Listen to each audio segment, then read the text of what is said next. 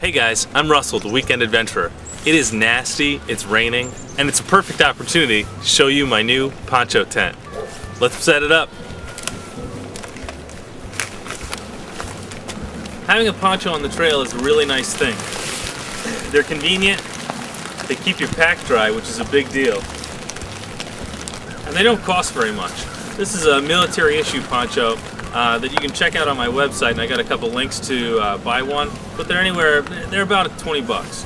They're a really nice deal for something that's going to keep you dry, waterproof, and serve as your tent. The poncho tent can be set up a lot of different ways. The first way that I'm going to show you is actually with poles. It actually makes a little dome tent. While you're making your tent, have your ground cloth with you and just throw it over your backpack so your stuff doesn't get wet.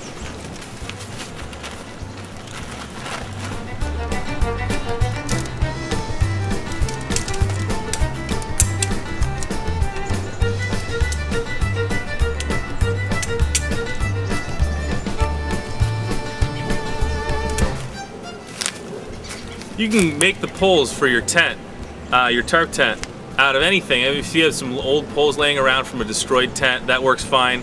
Or uh, if you want to order some, I have a place online on my website, russellweekendadventurer.com, uh, where you can order them, and I tell you how many sections it is. Uh, mine, I think, is six sections long, and uh, they're really light poles. My entire tent together weighs 1.3 pounds.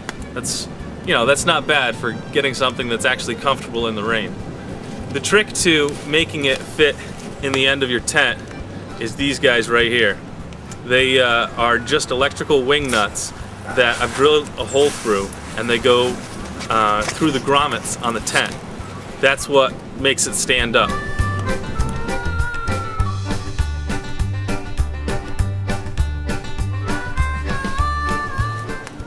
Turn your tarp upside down, cross your poles in the middle of the tarp,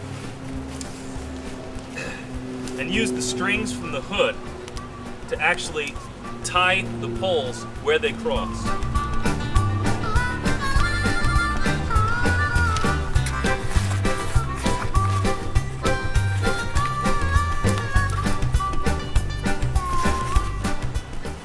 Once you've done that, you can insert the wing nuts into the grommets on the edges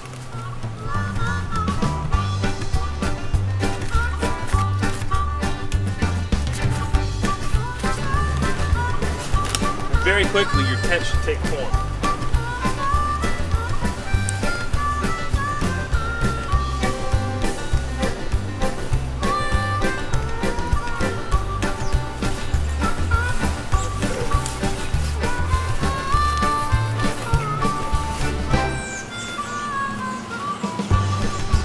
That's it right there. Now, you want to have your hood over to the side so that whatever rain hits it just rolls right off and voila, we got our tarp tent. I could actually tie the center uh, string a little bit tighter so that it's more toward the middle, but it, it really doesn't matter that much. Now, all I'm gonna do from here is put down my ground cloth, lay down my sleeping bag, and I'm set for the night.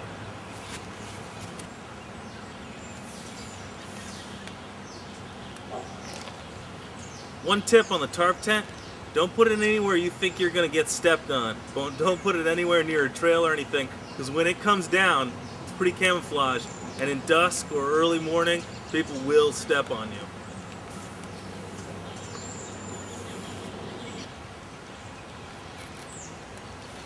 Let's say it's a nasty, rainy, no miles day. No problem at all. You take the tarp tent, tie it to a tree, all four corners, by the way, come with ropes on it. You can replace the ropes with something a little lighter. I didn't yet, um, but it's nice to have the ropes on the edges. You can do a lot of things with them. Put your backpack and gear under your tarp tent, and you can cook in a nice, open, dry atmosphere, almost like you have your own carry-with lean-to. It's really uh, a neat way to commune with nature while staying out of the rain.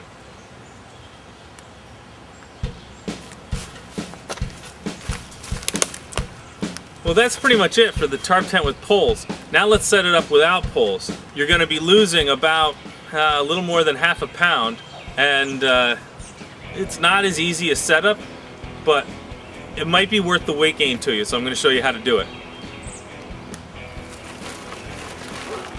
This next setup is going to take a couple minutes. So as with before, take your backpack, put it underneath your ground cloth. Uh, by the way, my ground cloth is a really simple, um, you know when you go to a, a lumber yard and they've got the coverings over the wood, the waterproof coverings, that's what this is. They throw that stuff out. I asked the uh, local lumber yard if they could uh, give me what they're going to throw out, and uh, they gladly they gladly gave it to me. I laid out my sleeping bag on top with some scissors. I went around the edges, cut it just for my size. That's what I came out with. It's uh, pretty waterproof, pretty durable, but you can't beat the price, that's for sure. Now, I've modified mine a little bit. I found that in shelters that are short, and uh, especially, you know, if I'm in a, uh, a tarp type situation, a lot of times I'm not paying attention to my feet. My feet will get wet. What I did is I put some grommets in the edges of my sheet and tied it together so that there's a little pocket for my feet to go into in the sleeping bag. Um, that way if there's any splash or a little bit of rain that comes in and hits it, it's not a big deal. I don't get soaked. It's, it's just a little added thing. You don't have to do this. Uh, it's just kind of a neat thing that I thought of and it might help you. The last way I'm going to show you how to set this guy up is on two trees leaning forward. Just one big sloping uh, canopy almost. And uh, it's not that hard. I think it's a little bit more waterproof than the diagonal. Let's see.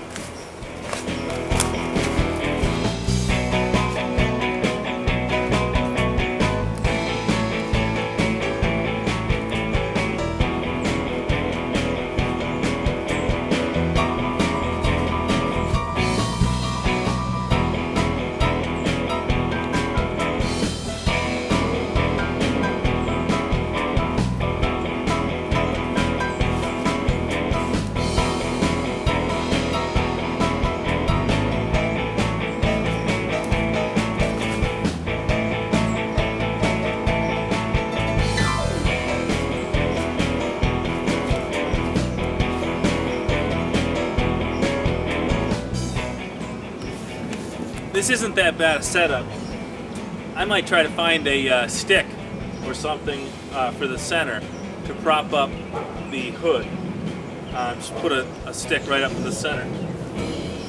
Um, but really, honestly, it's not that bad, and you'd probably stay dry. Let me go find a stick for the center and see how that works.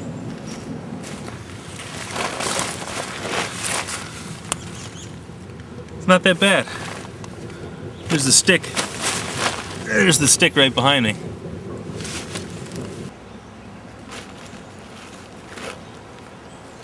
You know what? This really isn't bad. I like this way a lot. If you didn't have poles with you, I think this would be a good way to set it up. Looks pretty waterproof.